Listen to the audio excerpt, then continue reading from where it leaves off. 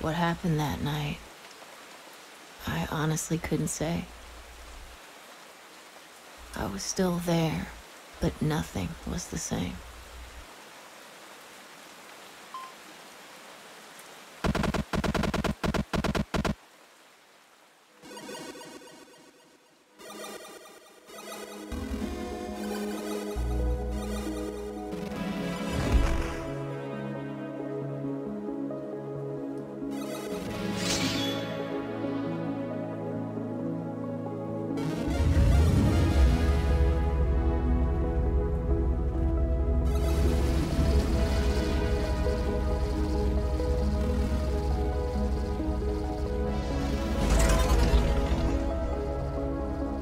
Game was not over.